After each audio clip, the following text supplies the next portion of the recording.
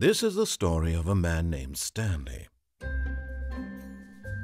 Stanley worked for a company in a big building where he was employee number 427. Employee number 427's job was simple.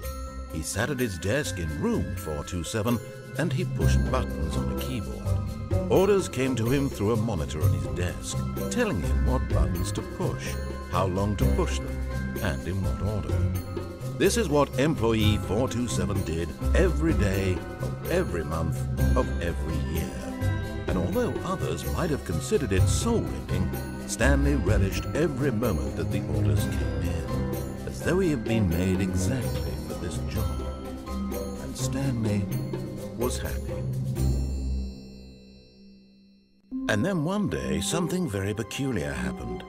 Something that would forever change Stanley something he would never quite forget.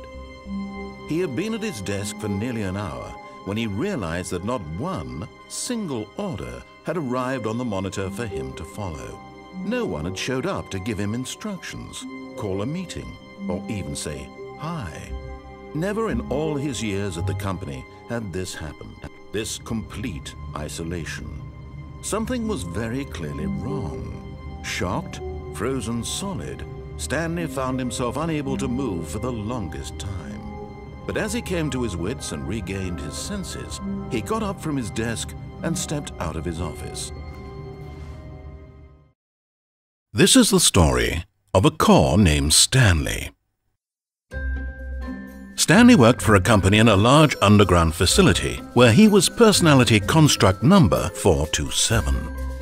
Construct number 427's job was simple he moved up and down his management rail, pulling levers on a wall. Orders came to him from the mainframe, telling him which levers to pull, how long to pull them, and in what order. This is what Construct 427 did every second of every day of every month of every year.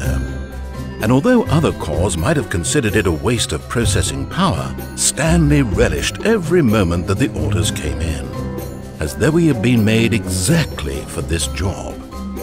And Stanley was happy.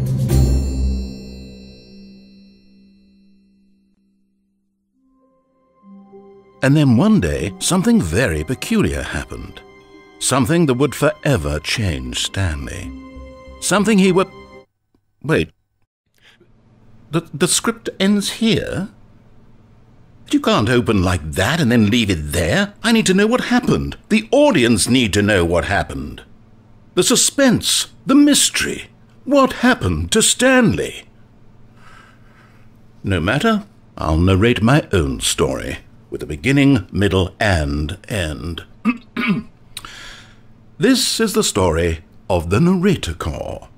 The narrator core sat in front of his microphone reading the script. The director told him which lines to read, how to read them, and in what order. Suddenly, the narrator became aware of the limited time and noticed that the screen was slowly fading to bl- No, no, no, no, wait! Wait!